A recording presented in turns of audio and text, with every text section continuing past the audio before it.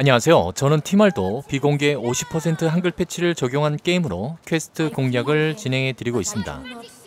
초반 공략 영상 중 소리가 매우 작았던 2-2 퀘스트 공략을 다시 제작해서 올려드리고 있습니다.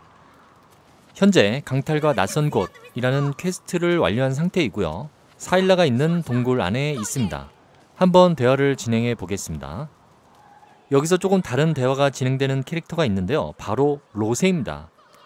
아, 안녕하세요. 당신 안에 있는 존재를 보니 참으로 유감입니다. 혹시 점점 강해지고 있나요? 라고 하죠. 로세의 안에 있는 그 악마를 느끼고 있습니다. 어떻게 그녀는 그 사실을 알았을까요? 자신에겐 보인다고 하네요. 자신의 눈에는. 하지만 사일라는 지금 네, 영구적 실명 상태이죠. 혹시 사일라는 그 안에 있는 누군가가 무엇인지 볼 수 있을까요? 아, 이것은 굉장히 위험하다고 합니다. 그것은 그대가 알지 않기를 바라고 있다고 하네요. 마음속에 무언가가 요동을 친다고 합니다. 당신의 심장은 가빠르게 뛰기 시작한다고 하네요. 대신 제가 말해줄 수 있어요. 대체 몸 안에 깃든 존재가 무엇일까요? 엘프가 갑자기 사시나무 떨듯이 몸을 떨더니 식은땀을 흘리기 시작합니다. 시간이 없어요. 그건 그건 지금 화났어요. 지금 당장 멈추셔야 해요. 그러면서 악마가 로세의 정신을 지배하려고 하고 있죠. 그리고 앞에 있는 엘프를 헤아려고 합니다. 설득문이 나왔는데요. 1번 건강을 선택하겠습니다. 심호흡을 크게 들이마신 다음에 자기 자신이 누구인지 지속적으로 각인합니다. 설득에 성공했죠. 참으로 용감하시고 정말 강하네요. 대부분의 사람들은 버티지 못해요. 그러니 그 목소리는 계속 가만히 있지 않을 거예요. 로세, 그대는 반드시 알아야 할 이라고 하면서 또다시 그 악마가 집어삼키려고 하고 있죠. 이번에는 1번 기교를 선택하겠습니다. 최대한 빨리 그런 생각을 없애야 되겠죠. 로세, 이미 너무 늦었어요. 너무 늦었어요. 안 속에 그것이 당신을 먹어치기 전에 알아야 돼요. 사일라가 그것에 대하여 말하려고 하는 순간 계속 일이 벌어지죠. 악마의 힘이 너무 강력해서 이제 로세가 더 이상 버티지 못하는 것 같습니다. 로세는 이제 엘프들을 공격하게 됩니다. 사일라가 여기서 힌트를 주는데요. 저희는 로세를 구하기 위해서 공격해야 됩니다. 로세의 HP가 거의 죽을 지경에 이르게 되면은 다시 제정신을 차리게 됩니다. 네, 이제 로세의 정신은 악마에게 지배를 당했죠. 모든 생각이 엘프를 죽여입니다. 이러면서 전투가 시작이 되는데요. 로세가 주 캐릭터인 경우에는 파티원들이 전부 같은 편이 되네요.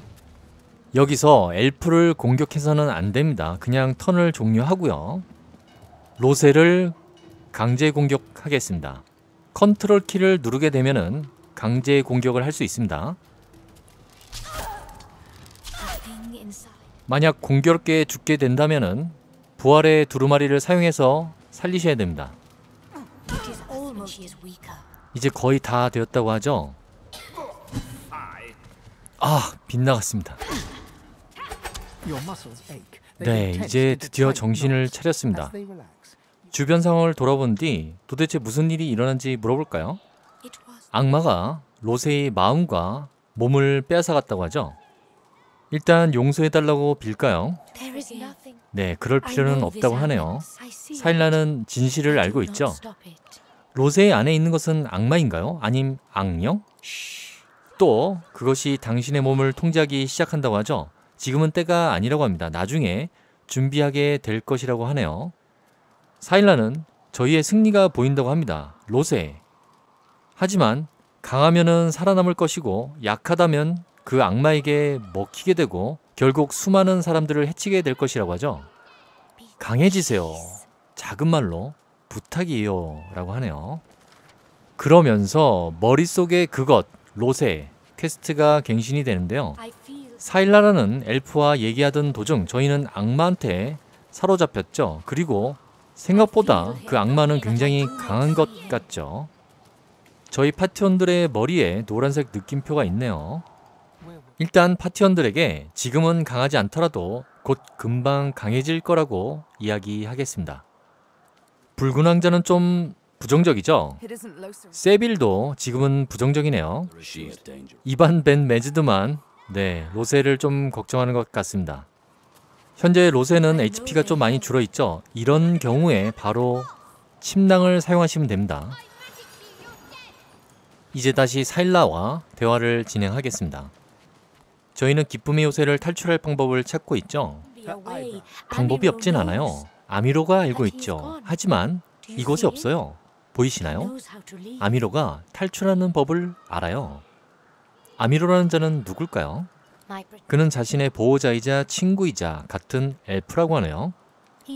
아, 아미로는 자신을 해친 자들에게 잡혀 있다고 합니다. 저희도 아미로가 필요하죠. 그녀의 친구를 돕겠습니다. 고맙습니다, 친구요. 그러면서 도움이 될 만한 것이 보인다고 하네요. lizard가 보인다고 합니다. 이 점이 중요합니다. 미래를 예지하는 많은 꿈을 가진 lizard라고 합니다. 어디서 많이 들어본 것 같지 않나요? 많은 꿈을 꾸는 lizard. 그가 없다면 아미로를 구할 수 없다고 하죠. 그러면서 수감된 엘프 퀘스트가 시작됩니다. 사일라는 그녀의 친구인 아미로를 구출해달라고 부탁했습니다. 그리고 그녀가 중요한 힌트를 주었는데요. 꿈과 예지의 lizard가 아미로를 구출하는데 필요하다고 이야기를 했습니다. 이제 동굴 밖으로 나가서 아미로를 구출해야 되는데요. 어디로 가야 될지 잘 모르시겠죠? 일단 맵을 펼쳐보시면은 단축키는 M 버튼입니다. 맵을 보시게 되면은 빨간색 임무 마커로 아미로라고 표시가 됩니다. 저희는 이곳으로 가면 되겠죠. 바로 여기입니다. 수용소 주방이라고 되네요. 이곳에는 수용소 두목 그리프가 있습니다. 그리고 맞은편에 갇혀 있는 엘프가 있는데요. 바로 아미로입니다. 대화를 한번 진행해 볼까요? 야. 말을 네 굉장히 함불하죠. 이봐요, 난 당신을 도울 수 있어요. 단지 당신이 아, 네. 계속 말을 못하게 하네요. 수용소 두목 그리프. 한번 말해볼까요? 여기는 엘프가 심하게 다친 것 같은데요. 왜 여기에 있죠? 음, 부엌에서 도둑질 하던 거를 잡았다고 합니다. 자신의 물건을 훔쳤다고 하네요. 어째서 이자가 범인이라고 확신하는 거죠? 현행범으로 잡았다고 하니까 뭐라고 할 말은 없네요. 그런데 그리프가 말을 할 때 말버릇이 있죠? 에헴. 음, 도둑 맞은 것은 무엇이죠? 보급품이지. 구체적으로 말하자면 음식, 감귤류, 과일이 든 상자라고 합니다. 여기서 감귤류, 과일이라는 게 중요합니다. 제안 하나를 할까요? 도난당한 보급품을 찾아오면 아미로를 풀어달라고 하겠습니다. 난 그 보급품만 있으면 돼. 에헴, 또 에헴이라고 하네요. 일단 이렇게만 이야기하고 떠나겠습니다. 그러면은 수감된 엘프 퀘스트가 갱신이 되죠. 수용소의 두목인 그리프는 우리에게 그 도둑맞은 물건을 회수하라고 일을 맡겼다고 합니다. 여기서 또 중요한 힌트를 주는데요. 엘프 아미로를 신문하는 것부터 시작해야 할 것이라고 이야기합니다. 그러면 아미로와 다시 대화를 진행할까요? 당신 설마 그의 말을 믿나요? 내가 도둑이라고요? 당연히 저희는 그리프의 말을 믿지 않죠. 저희는 아미로의 친구인 사일라를 만났습니다. 사일라, 그분과 얘기하나요? 그렇담 안전하게 잘 지낸다는 뜻이군요. 다행입니다. 네, 그녀는 잘 지내고 있고요. 아미로를 구출해달라는 부탁까지 했습니다. 아, 역시 그분은 내가 처한 공경을 보고 계시는군요. 그렇다면 이미 알고 있으시다는 거네요. 그리고 내가 그 답례로 탈출을 도와줄 거라는 것도 이미 알고 계시겠네요. 그가 알고 있는 것을 좀 더 말해달라고 해볼까요? 준비는 끝났고 가기만 하면 된다고 하죠. 여기서 자신을 풀어주면 탈출로를 보여드린다고 하네요. 설득문이 나오는데요. 둘 다 아닌 것 같죠? 첫 번째를 선택하시는 게 맞습니다. 고개를 끄덕입니다. 할 수 있는 일을 하겠습니다. 감, 감사합니다. 당신의 자유와 나의 자유. 좋은 거래군요. 이제 저희가 힌트를 얻을 수 있는데요. 그리프의 물건을 가져갈 것으로 짐작되는 이가 있을까요? 안타깝지만 아무도 못 봤다고 합니다. 그런데 여기서 아미로도 중요한 힌트를 줍니다. 목을 가다듬는 소리를 들었다고 하죠. 그의 버릇인 으흠 이 소리를 들었다고 합니다. 왜 그리프는 이렇게 작정하고 보급품을 되찾으려고 하는 거죠? 그리프는 강력한 힘을 가졌다고 하네요. 의심스러운 힘이라고 합니다. 혹시나 해서 으흠? 으흠을 알려드린다고요? 일단 알겠다고 말한 뒤 떠나겠습니다. 네, 퀘스트가 갱신이 됐네요. 아미로는 자신이 풀려나면은 기쁨의 요새를 탈출하는 방법을 알려주겠다고 약속했습니다. 그리고 아미로는 그리프의 물품을 가져간 자가 그리프와 마찬가지로 계속 헛기침을 했다는 것을 귀뜸해줬죠. 여기서 추가 힌트를 더 얻을 수 있는데요. 단, 재능 중에 동물의 친구가 있어야 됩니다. 파티원 4명 중 단 한 명의 파티원이라도 해당 재능이 있으시면 됩니다. 이 주변에 돌아다니는 쥐 한 마리가 있는데요. 그 쥐와 이야기를 하게 되면은 결정적인 힌트를 알려줍니다. 네, 저기 있네요. 이봐, lizard족은 다 오렌지 냄새가 나는 거야? 아니면 저 뾰족한 꼬리를 가진 정신 나간 친구만 그런 거야? 그러면서 퀘스트가 갱신이 되죠. 쥐에게서 우리는 오렌지 냄새가 나는 lizard가 보급품 상자를 가져갔다는 것을 알게 되었죠. 자, 모든 힌트의 귀결은 lizard입니다. 사일라는 꿈과 예지의 lizard라고 이야기를 했고요. 그 다음에 그리프는 자신의 보급품이 감귤류가 가득 들어있다고 했죠. 오렌지 냄새하고 연관이 있죠. 그리고 쥐는 오렌지 냄새가 나는 lizard라고 이야기를 했습니다.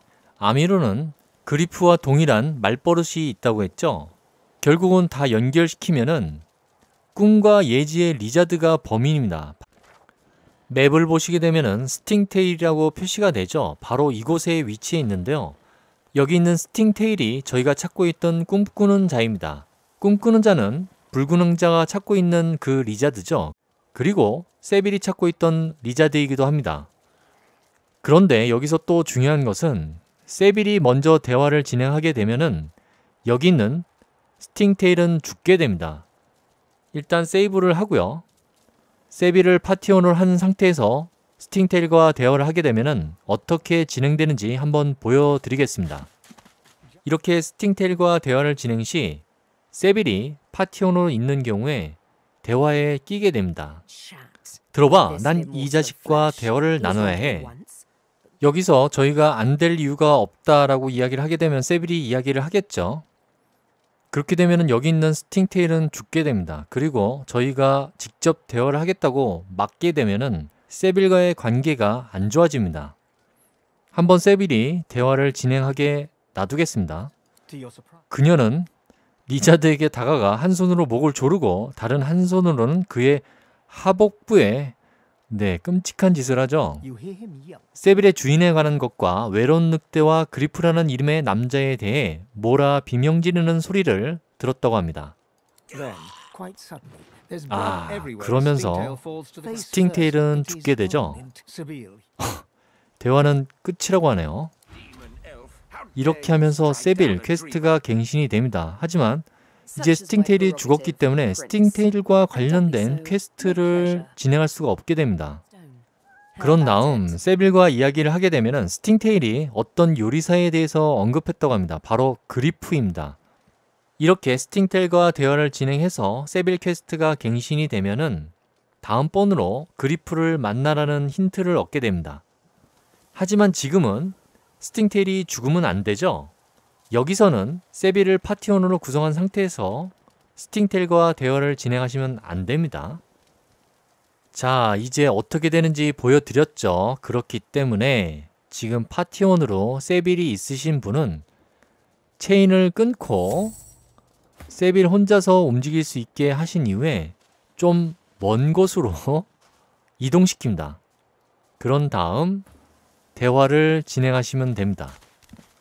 아, 우선 여기에 그리프의 보급품이 있습니다. 그 보급품 상자를 찾고 있었죠? 표시된 상자가 있습니다. 한번 열어볼까요? 아무것도 없죠? 하지만 수감된 엘프, 퀘스트가 갱신이 됩니다. 그리프의 보급품 상자를 발견했다고 하죠. 하지만 그 안에는 아무것도 없었다고 합니다. 그 내용물은 어쩌면 아직 주변에 있을지 모른다고 하네요. 역시 여기 있는 스팅테일이 굉장히 의심스럽죠. 로세가 대화를 진행하려고 하면은 붉은 왕자가 막아섭니다. 이 남자가 드리머다. 알다시피 나는 이 남자와 해야 할 이야기가 있지. 내가 이야기하는 동안 여기서 기다리도록 해라 라고 명령을 하네요. 네, 뭐 알겠습니다. 허락하다니 건방지군. 야, 역시 붉은 왕자답죠.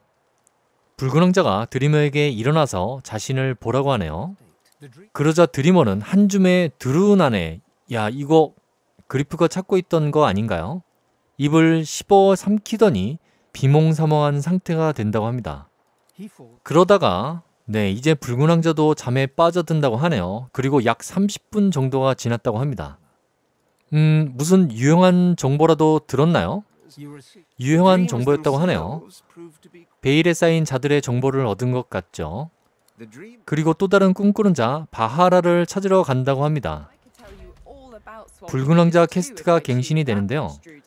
붉은 왕자는 그림자 가문이라는 의문의 단체에게 사냥당하고 있다는 사실을 알게 됩니다. 그리고 바하라라는 다른 꿈꾸는 자를 찾아야 한다고 하죠.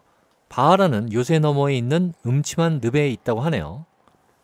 스팅테일과 대화를 진행해 볼까요? 어? 뭐? 하지만 난 그건 대체 대체 그런데 여기서 네 중요한 말을 합니다. 음흠 말버릇이 그리프와 비슷하죠. 아미로가 준 힌트와도 일치합니다. 대체 왜 날 깨운 겁니까? 난 정말 정말로 가까웠는데 라고 하네요. 그에게서 오렌지 냄새가 나는 것 같다고 이야기해 볼까요?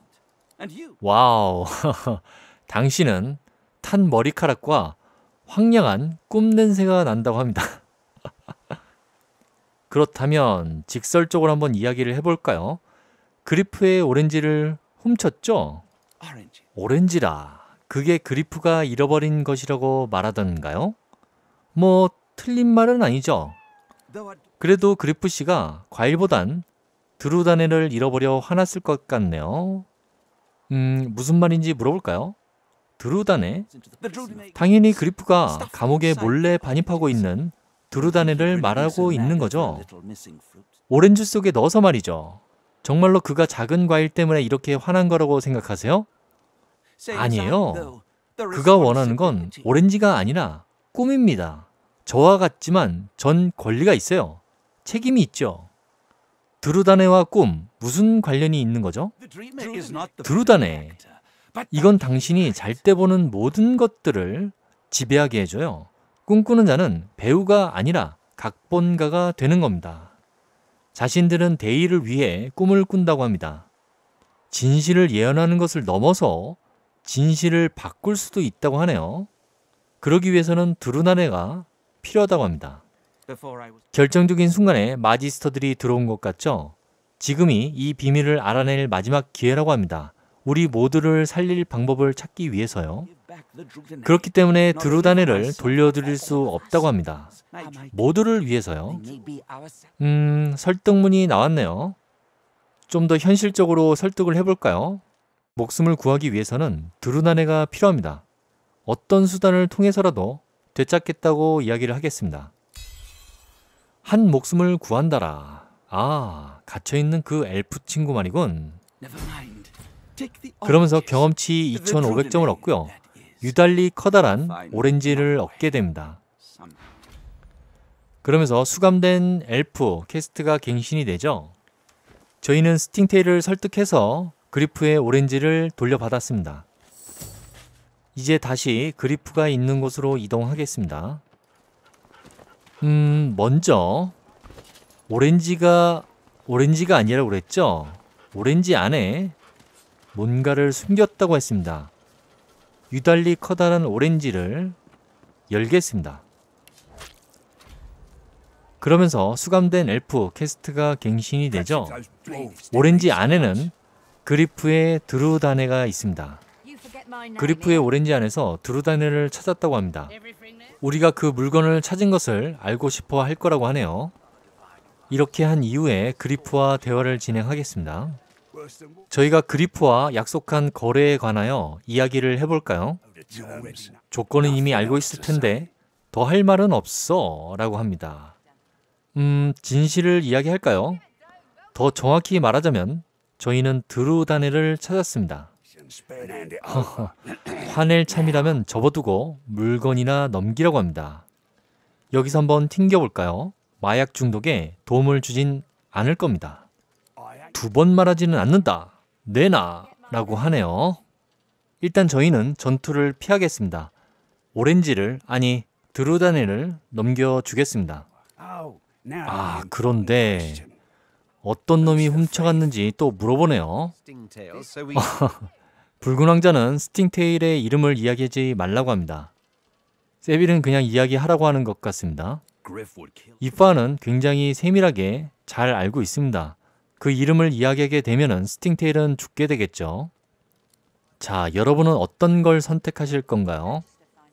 여기서도 저희가 이름을 이야기하지 않게 되면은 여기 있는 그리프 일당과 전투가 진행이 됩니다.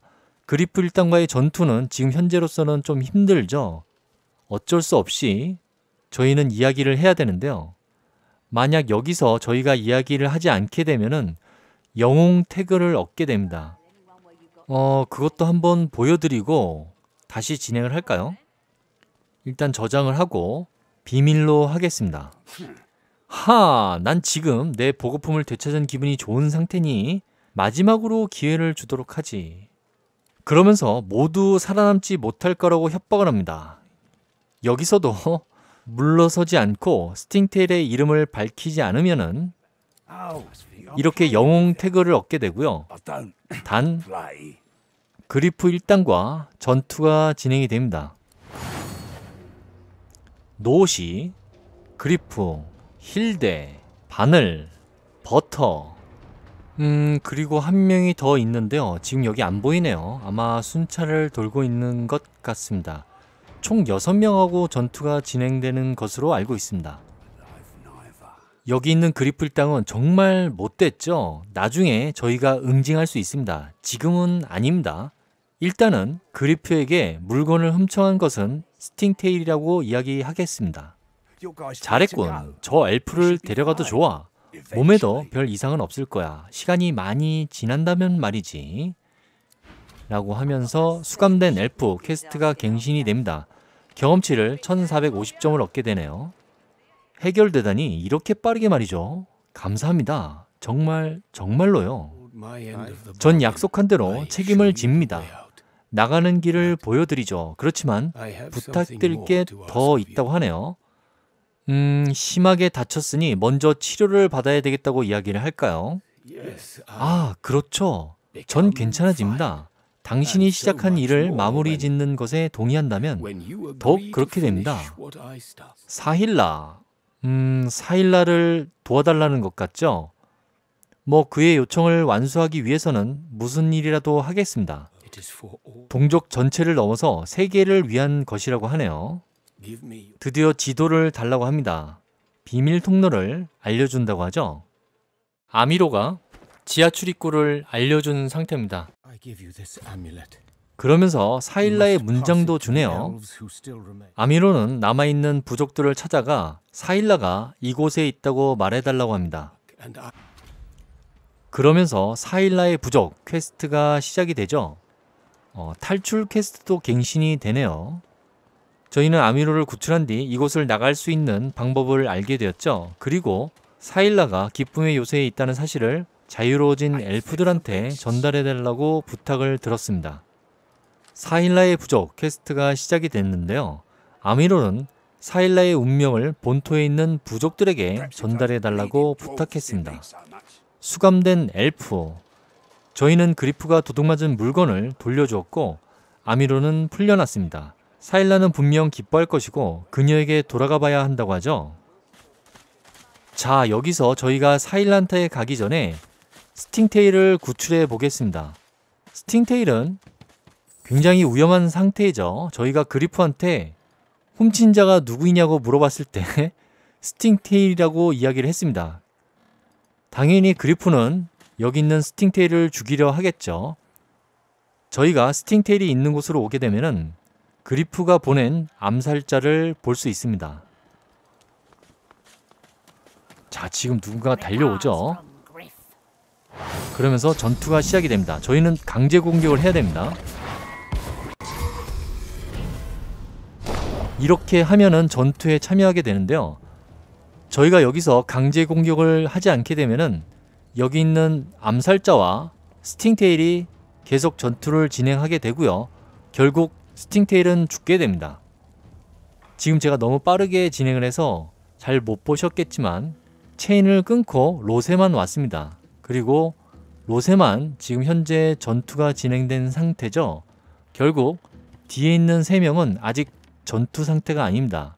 그렇기 때문에 은신한 상태에서 여기 있는 암살자에게 공격을 하면서 전투에 참여할 수 있습니다. 참고로 여기 있는 암살자를 죽이게 되면은 굉장히 많은 경험치를 얻게 됩니다.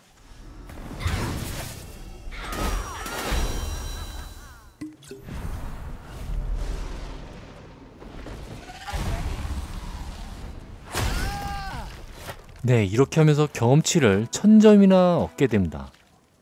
암살자를 처치하게 되면은 스팅테일을 살릴 수 있습니다. 자, 여기서 다시 스팅테일과 대화를 나누게 되면은 추가 경험치를 얻게 되는데요. 또 주의사항이 있죠. 세빌이 좀 먼 곳으로 떨어뜨린 상태에서 대화를 진행하겠습니다. 고맙습니다. 절 구해줘서 정말 고맙습니다. 와, 레벨이 상승이 됐네요. 저희가 경험치 600점을 얻었습니다.